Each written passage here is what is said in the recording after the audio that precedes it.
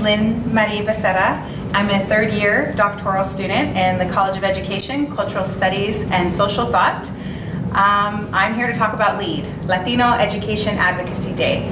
Um, I've had the opportunity, this is my third year, being an organizer for the LEAD Town Hall Summit.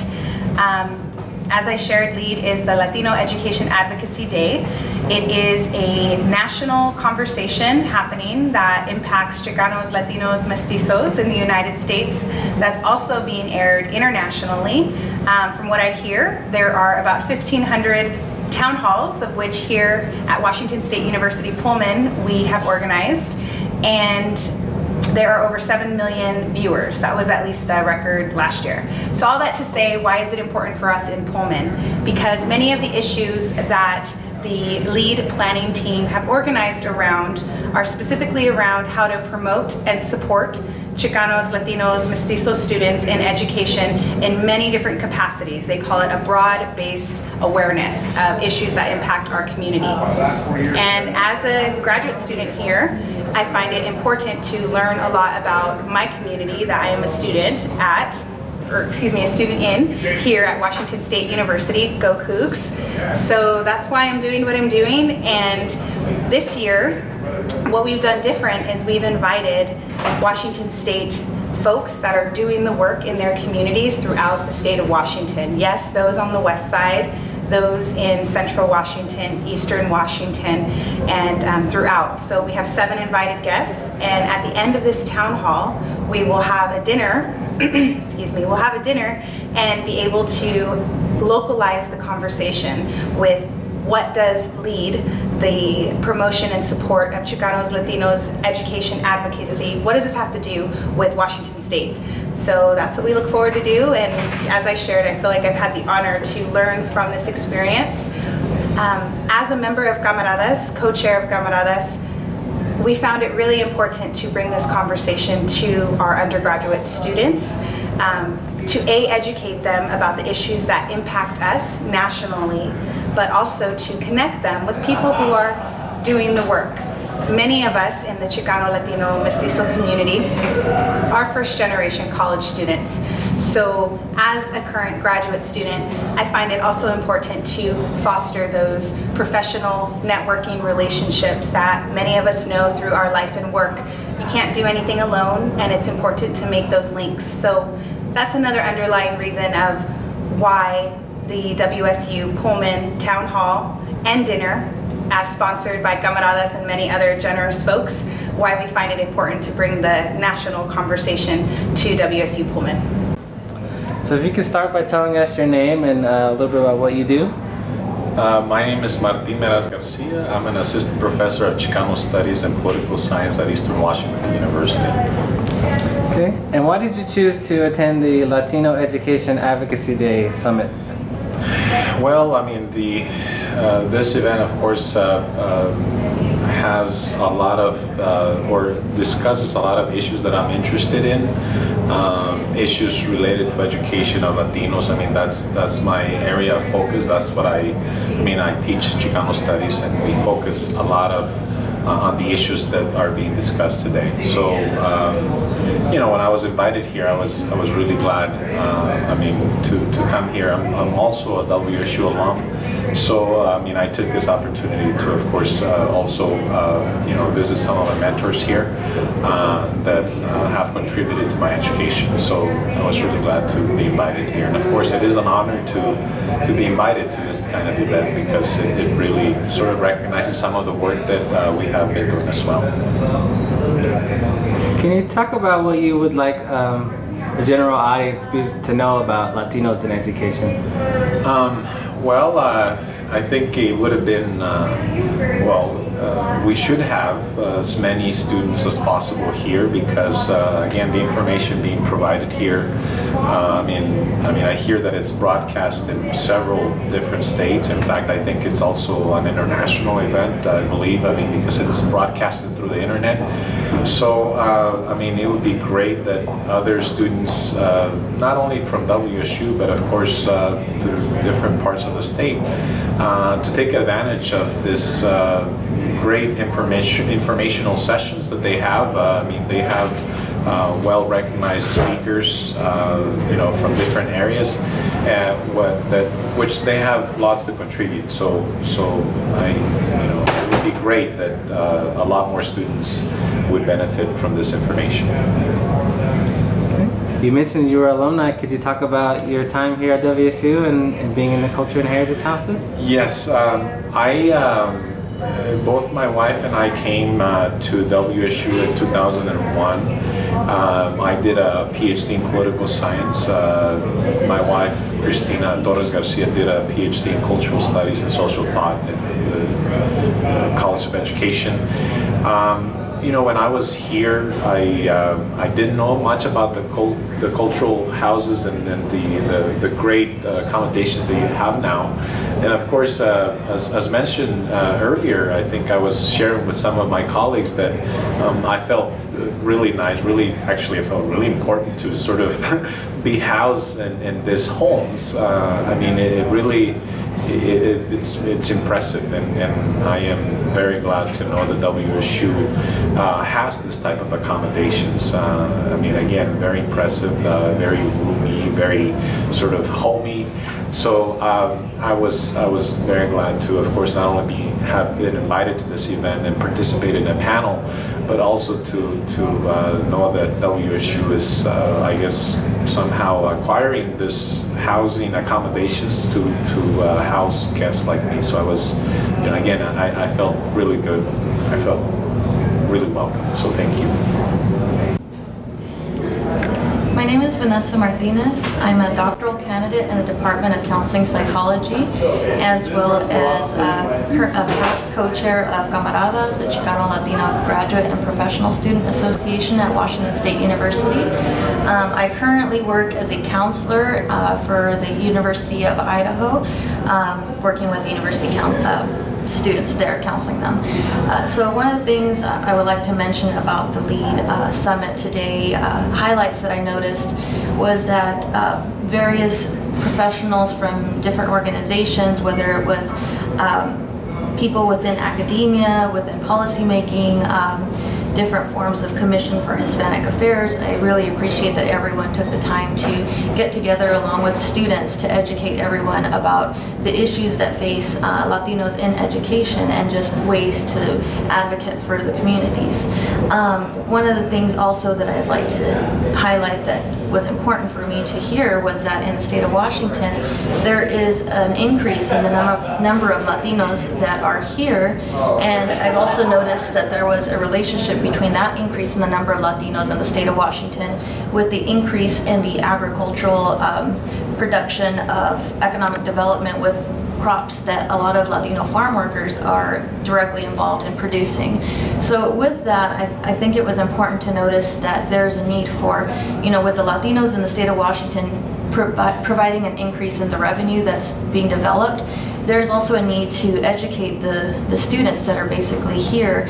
Um, a lot of them are 1079 students, meaning they don't get uh, funding from the federal government or even state institutions to provide for these students. They're paying a lot more than in-state students are for going into higher education.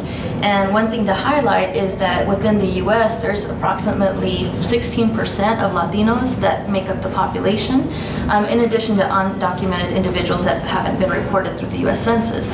So with that, um, Latinos being the largest racial ethnic minority group in the US, they're also the least educated in, in regards to um, going on to college and getting degrees. Uh, so that's a that's a very interesting fact that needs to be changed because uh, Latinos are contributing to the U.S. economy. They're making uh, positive contributions to society and in the state of Washington um, as well.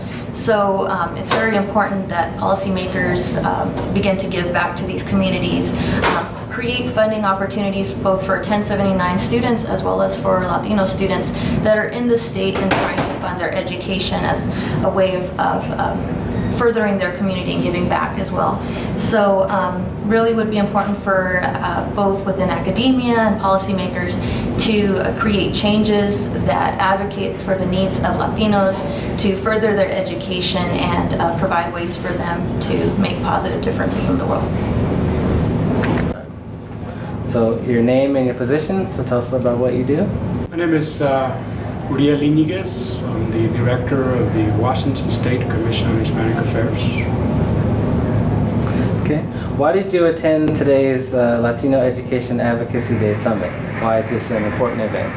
Well, as education is, uh, in my opinion, is paramount for uh, not only the state of Washington and economic development, but also uh, for the Latino community. We are one of the largest growing populations in Washington, and in regards to education, we have to be key the plans uh, for the state. Uh, part of the why it's important is we're still having a lot of difficulties on getting Latinos to graduate from, from high school, let alone attend uh, college. So, if we are going to be successful in the future, we have to start addressing this the, the gap, the opportunity gap issue. So what do you want people to know about Latinos in education? Well, part of it, I want to make sure that people understand the, the benefits of educating the Latinos, the issues facing educating Latinos, and the contributions that Latinos have made up to now uh, in regards to economics. And sometimes we want to separate it, but I believe that education is tied to economics and the economic well-being, not only of Latinos, but the rest of the state. And so when we are having conversations, we have to talk about if, for example, we continue with the dropout rate, uh, what resources are going to be exhausted and regards to incarceration, in regards to crime rates and all that stuff, and we could turn the resources around and multiply them in the positive if we were just to help Latinos graduate uh, more successfully from high school and into college. How have you enjoyed your time at Washington State University and at the Culture and Heritage Houses? It's been good. Yeah, I had the entire house to ourselves uh, last night. We didn't have a party or anything, so I was scared. we were too tired, uh, but it, it was it's good to. Uh, I, love the art that's there. Uh, there were some great books to read on, on Latino issues. So, you know, I kind of actually I was reading one of them. Prepared me for today. Um, my name is Ricardo Sanchez. I'm the uh, director of the Latino Latina Educational Achievement Project. Uh, we're based in Seattle and it's part of um, Sea Mar Community Health Centers. And um, our organization has a simple mission and that is to improve academic achievement of Latino children in Washington State. And uh, we do that by um, bringing together a statewide advisory board that looks at policies that we think uh, the state um, or the United States Congress or possibly school boards uh, would consider as policies uh, that could improve, uh, that could lead to improvement of um, academic achievement of, of, Latino students. So, uh, and, and, then our organization also has developed a, a leadership program for uh, middle school and high school age students. And that leadership is built around uh, four core elements, we call them, and that starts with college awareness and readiness, uh, leadership, civic engagement, and community involvement. Uh, and that kind of takes up um, the majority of, of, activities that, that we do, but we're pretty heavily engaged in, in promoting policies that are important. And, and so uh, in terms of this conference and the invitation from uh, Lynn Becerra, I was pleased to accept it because it, it really does get at what uh, we think is one of the most important things that, that we can do as, uh, as educators and as adults, and that is to thoughtfully consider uh, policy ideas and proposals that that can lead to improved um, academic achievement for, for Latino students who that's uh, our, our mission is to help those students. So uh, I was pleased to see that um, WSU and Eastern and, and, and, other universities are, are really supporting this national uh, conference. So what's up everybody? My name is Jorge Enrique Moraga. I'm a first year doctoral student in the Department of Critical Culture, Gender and Race Studies. Um, here trying to throw a couple words uh, here at the Latino Education Advocacy Day at Washington State University. Um, and honestly, what I got from today um, is a, a sense of inspiration and empowerment um, in the sense that um, the movement's not dead. Uh, we as students, we as graduate students, as undergraduate students, have a pivotal role in the way that education policy is dictated, um, implemented, and pressured in the state of Washington.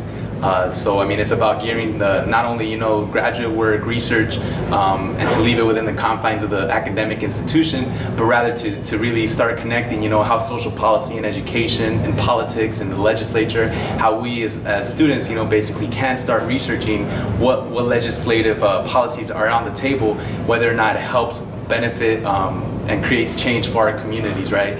So uh, you know just just throwing it out, you know. Um, you know, start checking out the, co- the Commission on Hispanic Affairs, trying to see the work that they do, implement, you know, some kind of um, commitment towards, you know, uh, figuring out how our legislature works and how we as uh, students within the academia can use the tools that we're getting here and start, you know, implementing it in our communities at large. My name is Jose uh, Moreno. I'm assistant professor of history and ethnic studies at Heritage University, located in the Yakima Valley in Toppenish, uh, Washington. Um, the reason why I'm in the LEAD conference today is because I'm an advocate of education.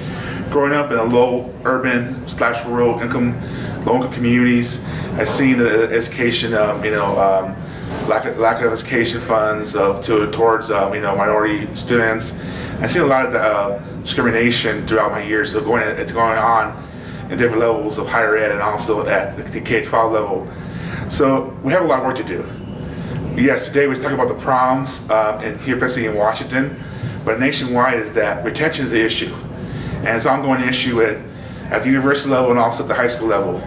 So what we need to do is create new programs that are outside the box that will that will help students gain critical thinking skills, basic writing skills, and math skills and science skills to survive in college. And we need to uh, develop uh, our students, and especially people of color and low-income students that don't have the advantages that privileged students have that went to higher higher schools for the K-12 parents. So the goal is to um, you know promote that, but also we have to work together and create communities, you know, new communities based on you know common interests and stop you know being, being divisive and you know it's not about a it's a class issue, it's not a, a racial issue. So I'm here today to uh, share uh, my story.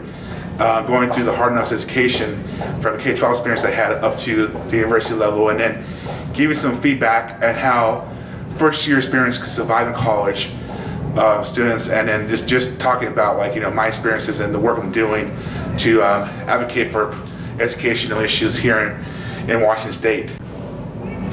My name is Maria Isabel Morales and I am a third year graduate student in Culture Studies and Social Thought and Education PhD program.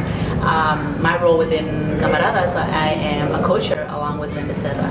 Um, so why lead? Uh, I was introduced to this event two years ago and two years ago I wasn't involved with Camaradas and I just heard about it but um, being my first year here I didn't, I didn't really go and try to find out what this was about. Um, but why is it that we're doing it with camaradas? Um, basically, it's important. It's it's an important work that needs to happen, not just for the state of Washington, but for the whole country. Um, I think it's uh, it's important work because it's it's, it's a reality that Latinos, uh, students of color in general, but this event focusing on Latinos, uh, we are we're falling behind, and not necessarily because it's we as as a community um, chose to do so, but the the educational system is not necessarily. Um, supporting us in many ways and so I think it's important because these are conversations and these are reminders for for all of us like why it is that uh, we um, why it is that for, for, people like me why am I in school why am I in school because um, there's a lot of Latinos that are not making it. You know, there's this, this a whole pipeline that uh, we have to travel through, and many students are falling behind. Um, not necessarily because uh, you know they chose to. A lot of times they're pushed out, and so this this event is an important project, important conversation. Um, in order to change the numbers, there's a lot of dropouts. There's a lot of, or rather, pushouts. The pushout rate is really high. Um, there's a lot of situations that, that Latinos are facing that I myself went through. Um, for instance, you know, in high school, uh, my counselor, when I first went to her, and I, I, graduated from a very small town here in central Washington, uh, and uh, I went to her and I said, I want to go to university. And first thing she told me was, are you sure you don't want to go to community college? And so I told her no, and I persisted. And until she saw my grades, then I think she saw me as sort of a token and said, okay, well, I think you can make it. And so she started helping me sort of, but a lot of my friends didn't necessarily get that support because she didn't see what, what she saw in me, whatever that was. And so I experienced, experienced firsthand. Um, I've had to go through, I've had to jump a lot of hurdles in order to get here. Um, first generation immigrant, I immigrated here when I was five years old. Um, always questioning my role in school. Now that I'm in graduate school, I'm always thinking, why am I here? Why am I here? And um, there's that whole imposter system. Uh, maybe I'm not supposed to be here, and and so these are realities for all of us. So why leave? Because for me personally, this is a this is a reality. This is my story, a story of a struggle. Um, school is important for us, but school is not always supportive. And um, in the educational system, there's a lot of gaps. There's a lot of uh, holes. And so as a community, we need to talk about it and we need to figure out ways to uh, fix it. And so this is this is a place that we can talk about that. My name is Vincent uh, Perez. I work for the Association of Washington School Principals. I'm the founder of La Cima and La Chispa Bilingual Leadership. We've been in existence for about 10 years and we do Latino outreach uh, for uh, particular schools, school districts, um, and anyone else really interested in our programming, staff development, that kind of thing. Uh, in terms of today's events, I'm, um, I think, what's the word I'm looking for? Uh, consoled, I'm trying to find a word here. I think it's exciting to know that this is happening all across the nation with various groups. So to be part of this kind of national conversation that's focused on one day, to me is the significance of what's happening. That many peoples all across uh, uh, many communities are focusing on one day, and I think that's uh, probably the highlight for me. Hello, my name is Jacob Leon. I'm an undergrad here at WSU. I'm studying English education, and um, this event is really like, I have a lot of passion for this event because the talks were dealing with education, and I think that public education and free public education is something that we need to all like realize is very important here in America. And so, guiding guiding teachers and creating that space for teachers, I feel is something that's very important. And just being able to open up this dialogue between student, parent, teacher, policymaker, I think is really a critical aspect in getting everyone involved. Yeah, my name is Tony Sandoval, and I'm a Washington State University alumni here. Uh, graduated in 1989. Um, I currently live in uh, uh, Yakima, and I'm a business owner down there. And I wanted to come to this uh, conference to see how far my, my university has come since I was here. Uh, to me, it looks like it needs a little bit, you know, uh, more work. And part of what I want to do is um, try to reacquaint myself with um, new connections, and that way we can network. Because what I've seen when I, since I've been here is there's different people doing good stuff. It's just not all of us are connected. So that's what I want to do: um, connect with some of them or all of them, or as many people as I could. Okay. Can you talk a little bit, a little bit about the LEAD program and why it's important? Well, it's important because uh, without education, you know, it's a, it's a basis for um, pr pretty much everything. You know, business, uh, being a doctor, uh, contributing back to the community. And to me, uh, we don't have enough ethnics still competing out there into the real world. So this is why this this program needs to be uh, continue to to be in ex existence and actually grow. I was disappointed in the number of individuals that were here. I was expecting, you know, like a whole auditorium full of people, but it's a start. Dora Martinez Chavez, and I live in the Yakima Valley in Central Washington. I work for Community Health of Central Washington, which is a nonprofit, and we run several clinics in both Yakima and Kittitas County. I also volunteer a lot in the community. Um, I guess you could say I'm an advocate for the Latino community in my area. Um, and the reason I came to the conference today for Latino Education Advocacy Day um, is because I was asked to come and and I'm actually getting to network with other people from other um, organizations that also believe in the importance of Latino education, higher education, and it's just great to be here today. You want to talk about sort of the value of Latinos in education or sort of why advocacy is important? Um, advocacy for Latino education is really important because of the fact we have so many talented students in all over the state of Washington, and especially those that are undocumented. I feel that they can contribute so much to our community, and it's just sad it's just really sad that they, that they have the hardship paying for tuition. So to me, it's like, even though we have the HB 1079 that gives them the opportunity to be charged in-state tuition, you know, that still is not going to be enough. I mean, we still need to work forward so that we can provide scholarships for all students, regardless of their legal status in the state of Washington. And also provide them with opportunities and be great role models and they hopefully will return back to our community and help us move forward as well.